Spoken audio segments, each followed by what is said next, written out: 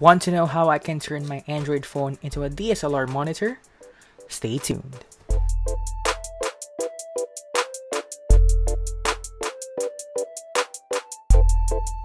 Hello guys, my name is James and for this Tech MNO Blitz video, I will show you how you can use your Android phone to monitor or control your DSLR cameras with some items you can use if your camera doesn't have any Wi-Fi or Bluetooth monitoring app.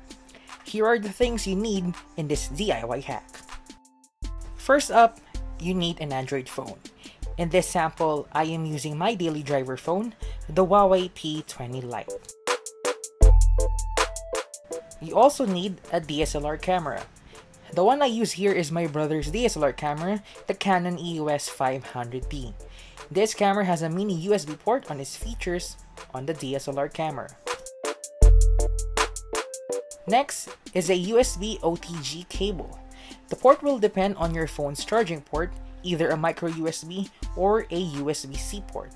In my P20 Lite is a USB-A to USB-C OTG cable.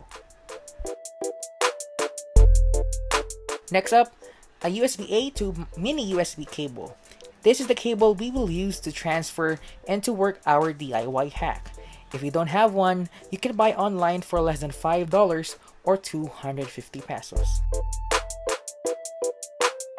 And finally, some other stuff like this one, a 1 4 inch screw mount to put our phone and the DSLR camera together in our tripod and our phone holder. You can also use a cold shoe mount to 1 4 inch screw attachment to the DSLR camera's hot shoe port. But unfortunately, the item I bought is not yet available as of this shooting, so I will use a mount as an alternative. Links of all the products I mentioned in the description box down below. On the software side of apps that we need to use, go to the Google Play Store and search for the DSLR controller app. The one I use here is from the developer Chainfire. However, the app is paid, so if you're looking for an alternative, you can check out the other one from Lector Hansen. The links will also be in the description down below. Now, let's go back to our DIY hack. Once we downloaded the app, let's go ahead and insert the OTG cable to the USB-A to mini USB cable.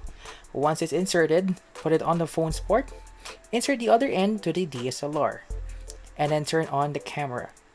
Once it's open, the screen will have a pop-up window asking to allow the DSLR controller app to access the USB device automatically.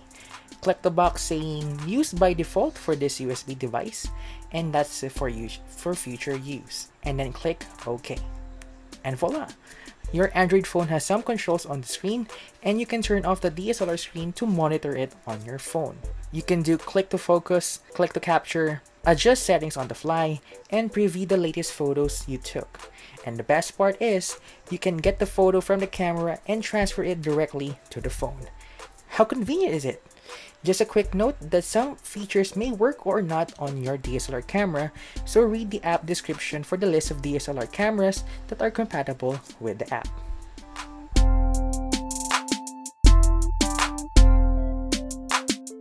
And that wraps up our video for today. Thank you so much for watching my video. If you find this useful, share this video to your friends and family that have old DSLR cameras on their cabinets or drawers and make it useful with this DIY hack. Don't forget to like, follow, and subscribe to my YouTube channel as the analytics will push this video and my other content to more people worldwide and follow me on my socials at TechMNO.